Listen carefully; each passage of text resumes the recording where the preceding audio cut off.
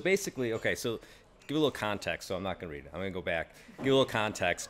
There are like this band of uh, renegades, Star Wars esque, that have just toppled, not toppled, but like struck a blow against the evil galactic power. um, and uh, so now the, the book picks up with like, hey, they've, they've scored this victory. Now it's the, the war is kind of beginning. Um, all right. Uh, what? Cade asked, agitated. Uh, nothing, nothing at all, Kira said. I just didn't know you were so delicate, but it's fine. Totally cool. Cade groaned. You know, even by our standards, this is excessively stupid. Cade, Kira put her hands up. Hey, don't look at me. This is your friend's idea. Huh? Came Mig's voice from the cargo hold where he was tinkering with something or other. Is Cade complaining again?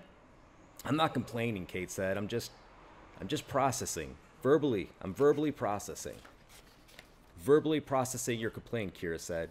We got it. You know what? I'm ready, Cade said. I'm ready to jump out of this ship. Such a sensitive chosen one, Mig snickered as he stepped in front of Cade and started fiddling with his grav suit. I'm just going to shut this clasp. If you're going to leap into the cold, deadly abyss of space, it's best to do.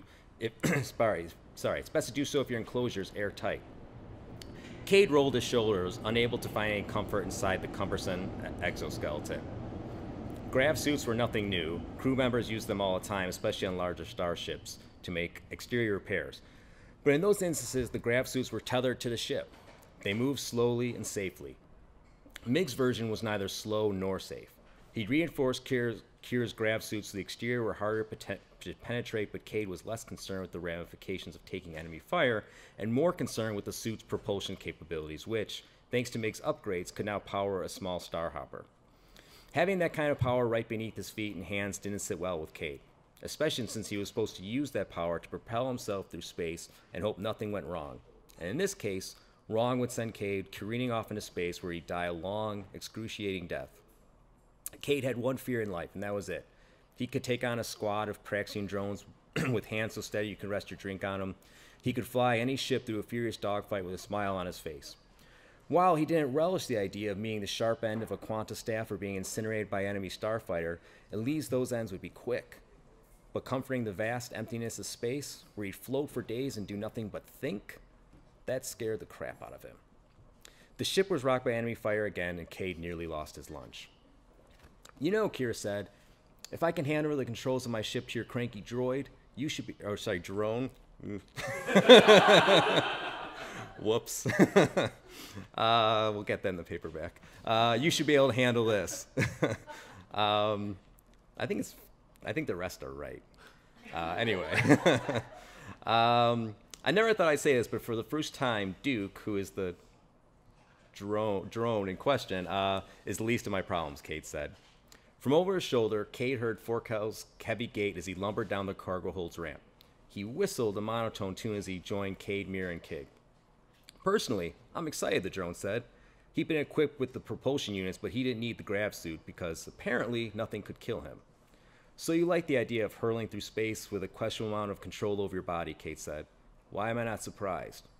I'll be like a graceful speck among the cosmos, as close as I'll ever be to being united with the fabric that binds all sentient life.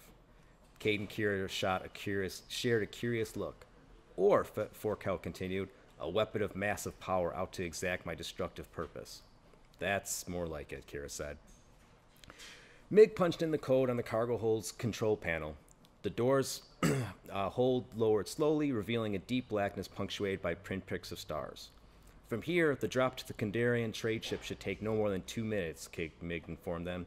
Use the suit exactly like I showed you, let it do most of the work, and you're good.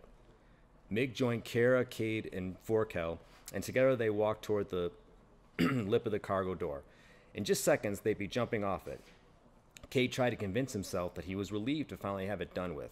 He'd been sweating the solution to liberating the Praxis of occupied Kandarian vessel ever since it was conceived, and no matter how hard he tried, he couldn't bring himself to liking it. In fact, he hated it.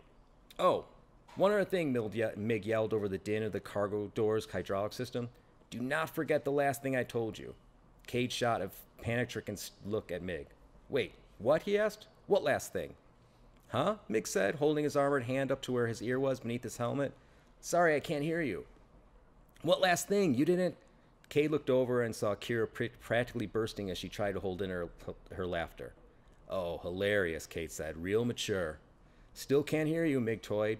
Then read my lips, Cade yelled, and he mouthed a very pointed obscenity. But then the noise stopped as the door was completely lo- lowered. All right, boys, Kira said.